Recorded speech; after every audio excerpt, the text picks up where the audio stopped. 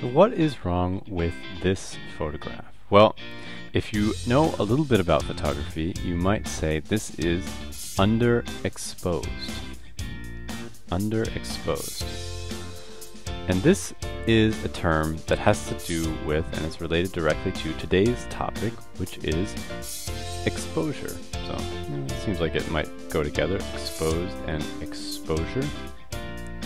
But the question is, what does this mean? What does underexposed mean? What is exposure? Exposure is a way of measuring how well you have done getting the right amount of light onto your film. So imagine over here we've got a piece of film or a digital sensor, just light sensitive something. I always seem to use the little brown squigglies for that. So you've got your camera, you've generally uh, your film or your sensor is hidden away from all the light and when you open up your camera by taking a photograph it pops open the shutter, light rushes in and it's exposed so it touches your film or your sensor. And then it creates a sort of either a chemical or a electric interaction where the light interacts with that surface and it creates then an image as a result. And that image is measured as um, is measured partially for its exposure. That exposure is just a measure of how much light it picks up while the shutter is open and while the while the sensor or the film is exposed to light. So this is a really important thing because exposure has to do with the quality of an image, how it looks. You want to have good exposure so that your photographs are um, crisp and clean and look nice. Well, now what does it look like when you do the opposite? It looks like something like this. This is overexposed. Overexposed just means too much light fell on the sensor or on the film and all the colors are washed out, all the darks are gone. You can see the light, at the darkest thing you have on here is sort of still a pretty light color. So that is overexposed. Now this is somewhere closer to the correct exposure, so still not perfect, but a bit closer. And you can see here that uh, now I've got tones that range all the way from a high white, so very bright white, down to a pretty dark true black almost. So over here especially true blacks and lots of things in between.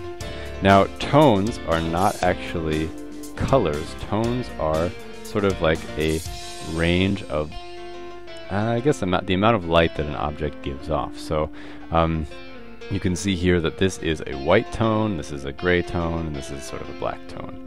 And everything in between is a part of the tonal range of an image.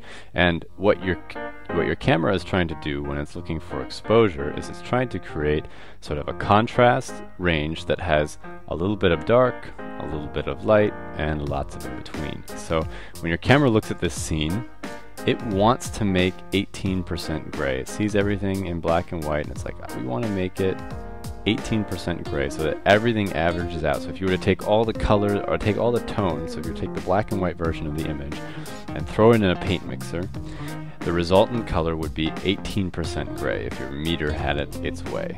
But sometimes that doesn't always match reality. In, the, in reality, this scene had a lot of darker tones in it and a lot of um, and a lot of lighter tones. But ironically, when it sort of works out, it comes out to about 35% gray. So here you can see the problem um, that metering and exposure create for photographers. You've got your camera wanting to make 18% gray. Your photo isn't actually full of anything that's 18% gray. It's actually, if you look at it, it's about 35% gray. So you want to try to find a way of tricking your camera into exposing correctly for the 35% that it actually is, not the 18% that it wants to make. Let's try and now to make really quickly sort of a diagram of what is actually happening here. Let's imagine we've got a stool here, and it is a three-legged stool. So you've got one, two, three legs on your stool, and they're kind of funny legs. Sorry about that. Now, one of your legs is going to be your ISO. This is going to determine um, how fast the photograph can be taken because you've got um, a certain sensitivity um, on your film. You're also going to have your shutter speed. We're just going to write shutter. This is going to be how fast the photograph is taken, so how, how long the camera is open to the light. And your last thing is going to be your aperture. and this is sort of like the size of the window that's allowing the light into your camera. Now, you can imagine this as a three-legged stool, where if one of the legs is too short, the stool falls over. So the correct exposure is sort of like sitting, is sort of the flat stool that you imagine that you can sit on or put an egg on and it won't roll off. Now, if any one of these things is incorrect or not matching, then you're going to have a problem. Your stool is not going to be um, flat or usable really. And sometimes this will be called the exposure triangle. So these three, three things are all related. They're variables of good exposure. And if you change one, well then you have to change others. So just like if you were to shorten one of these legs, you would then have to shorten all of the legs, or you'd have to sort of adjust them so that they would all create then a flat stool. A lot of times, what a lot of photographers, when they're first starting out, they will then first lock in one. So for example, I always, for it was really easy back when I started, ISO was always set by your film. So you had a piece of film, and then your only two variables were your shutter speed and your aperture. And then you just could mess around with those two, and always try to make sure that they were bringing everything into equilibrium. So what you're trying to do when you're aiming for good exposure is you're trying to fill the film with a certain amount of light that it needs in order to expose the photograph correctly. And you can kind of imagine then the film or your sensor to be sort of like a bucket. So I'm going to write film or sensor here. And your bucket you can change the size of your bucket. So your bucket can be big, it can be small, and in this case you could think of a small bucket as being a film with a high, high ISO. Um, so it doesn't take very much water uh, to fill a very small bucket. It doesn't take very much light to fill a very sensitive piece of uh, film or a sensor. Like so, um, something at ISO 800 is like a very small bucket. So you're trying to imagine that you need, you know, maybe this much water in your bucket, no matter which bucket you have, if it's a big bucket or a small bucket, you need to have it, you know, maybe reach this 70% full level or something like that, say. And you're doing this with a pipe. So the pipe is running from here to here. You've got your pipe right here. And you're running water through it, and you can change then with this in this setup, you can change how long the water runs. You can change how big the pipe is and you can change the size of the bucket. So you're going to make sure it makes inside. Now, the um, length of time that the water is running into the into the bucket is sort of like your shutter speed. So just like you can open the shutter of your camera for a really long time, you could open the faucet and let water run for a really long time so that it fills up the bucket. Even if you have a tiny pipe, your pipe could be really mini. It could be like a F22 pipe, so a really tiny pipe. But um, and it could take therefore a long time for the water to go through and fill up your fill up your bucket. But at the same time, you could also maybe spring for a bigger pipe. So you could maybe make the pipe like this big, and then you've got tons of water coming through. Which therefore means you don't need as much time to let the water run through, or in this case, you don't need as long of a shutter speed. So you can let more water in more quickly. That's really important. So remember that your aperture is like the size of the pipe. Not the length of the pipe, but the width of the pipe. How much bandwidth it has. How much water or light, in the case of a camera, is able to pour through and into your bucket. And your shutter speed is the amount of time that you have, that, that you're running that water through. And your sensor is the size of the bucket itself. And all of these things are adjustable. So you can run the water longer, you can make the pipe bigger or smaller, and you can change the size of the bucket. Um, and either way, you've kind of come up with a piece of piece of math that again is a triangle. So you have this three, so you have these three variables, and you have your your aperture, your shutter speed, and your ISO. Each image has an interesting and unique combination of these things. So right here we've got our ISO. Let's just say ISO shutter. Shutter with SH, and we'll have our f-stop right here. Now, this image to the left was taken on a bright evening at ISO 200. Its shutter speed is about a 500th of a second, and it was taken at around f5.6. So it's pretty standard for an evening, bright day. That's about pretty average shot, really. This shot was the Irish cottage. It was a cloudy, rainy day. It was ISO 200 still, though. I took the shot though at a hundredth of a second.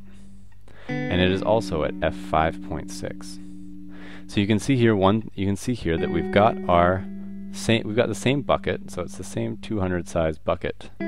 But in this case, I let the water run on the Irish cottage. It ran a lot longer, 500th of a second and a hundredth of a second. So that's a lot fast. That's a lot faster. This image here of the abandoned airport than of the Irish cottage because I didn't have as much light. So I just didn't have as much um, light to expose the film, and so I needed a little bit longer to do that. Now I can take a look over here at the Berlin situation. So here I'm standing on top of a house looking out over downtown Berlin. You can see the TV towers very far away. And that is actually taken at a 400 ISO. Shutter speed was 1 15th and the f-stop was 5.6, I'm um, sorry, 3.5. Oh, I need to concentrate here. 3.5. Alright, so what's going on here now? We've got a bigger bucket, first of all. So the bucket is, oh, sorry, a uh, smaller bucket. I need to remember my own metaphors here. So you've got a smaller bucket, so it takes less time to fill that, that bucket. And we've got now more, the water's running for even longer. So we've got a 15th of a second, which is a lot more than a hundredth of a second, and even more than a 500th of a second, so a lot more. And in this case, the pipe is actually a lot bigger because we've got a smaller number. So a smaller number means a bigger pipe. And in this situation, we've got a 3.5 f-stop, which means that it's almost one entire stop of light difference between here. And this is a very, very important concept. Um, you will all have to memorize when, from the shutter speed lesson and from the aperture lesson that you've got sort of these variables. Um, for, so for f-stops, for example, you have um, you have maybe f4, and then you have f5.6, and they're one stop away from each other. Um, really important to remember. So that's one stop. You also have, for example, maybe um, 100 and 25th of a second, or 100 and 250th of a second, and you've got 125th of a second. Now that is also one stop of light. So shutter speeds can be one stop of light, so shutter speeds can be one stop of light, and f-stops can be one stop of light away from each other. And that is a really important thing to remember because another important thing is that your ISO speeds are also one stop apart. So if this was 100, for example, right here, instead of 200, um, you would then have to change this shutter speed and cut it, or you'd have to cut it in half, or you'd have to double it, I guess. So kind of hard to explain with these numbers, but you would have to move, if you were to move this down to 100, you would have to move this shutter speed up to 250th, because you have, in this situation, you have doubled the amount of time that you need to um, expose that image, and therefore you need to either double the amount of time, or if you don't do that, so say you were not to double the amount of time that you need, you would have to add more light, so you'd have to move this to F4. So you've moved one stop here, so we've got minus one stop. So now we need to add a stop somewhere else, or so we've added our stop here. And the same thing if you were to do that, you know, maybe to this 400 here. Say you were to say take this and make this 100 speed film. Well, that means that's two stops. So we've got minus two stops here. And that means you need to make up for it somewhere else. Well, you can't really make it up for it here because maybe your lens isn't faster, so you'd have to just um, you have to just do it with your shutter speed. So that means you'd move down to eighth of a second and then down to a quarter of a second. So you would already be at a very slow photograph right there. So here you've got your plus two right here. So it's always a matter of remembering these distances, and that's why it's important to go back and take a look at what the difference between f4 is and f5.6 and f8, and remember the traditional stops, the traditional full stops, so that you know for each photograph that you're taking how many stops you have to move each of these variables Alright, so that was your lesson about um, exposure, and check out more lessons like this at allversity.org.